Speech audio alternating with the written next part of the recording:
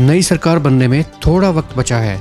21 अक्टूबर को पोलिंग होने के बाद 24 अक्टूबर को मतगणना होगी। कुल मिलाकर इसी महीने हरियाणा में नई सरकार का गठन हो जाएगा। किसकी दिवाली रंगीन बनेगी और किसकी रह जाएगी फीकी, ये तो वोटर्स तय करेंगे, लेकिन कयास इस बात को लेकर लगाए जाने लगे हैं कि अगर सरकार बीजेपी या फिर जेजेपी की बनती है तो मंत्रिमंडल में जगह किसे मिल सकती है? नए मंत्रिमंडल को लेकर हम आज हिसार ज़िले की बात करेंगे।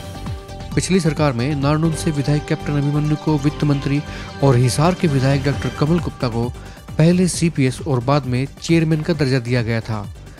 लेकिन अब नए मंत्रिमंडल में ये माना जा रहा है कि अगर सरकार फिर से बीजेपी बनाने की स्थिति में होती है तो हिसार परवाला व हाँसी में से दो को स्थान मिल सकता है। ये हम उस सूरत में बात कर रहे हैं जब सरकार भी बीजेपी की बने और इन तीनों जगहों से बीजेपी के प्रत्याशी जीत हासिल कर पाए।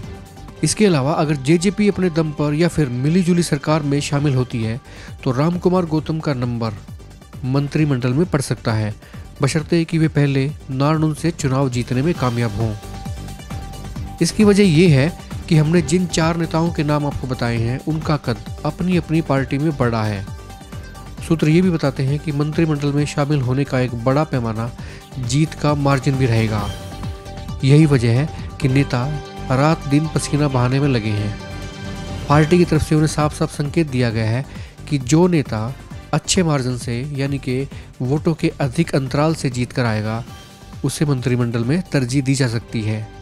आप देखते रहिए एक मत पोस्ट। और हाँ अगर आपने हमारा चैनल अभी तक सब्सक्राइब नहीं किया है तो नीचे दिए लाल रंग के सब्सक्राइब बटन को दबाएँ। साथ में जो बेल आइकन है, उसे भी क्लिक करें, ताकि हर अपडेट, हर खबर सबसे पहले आप तक पहुँचे।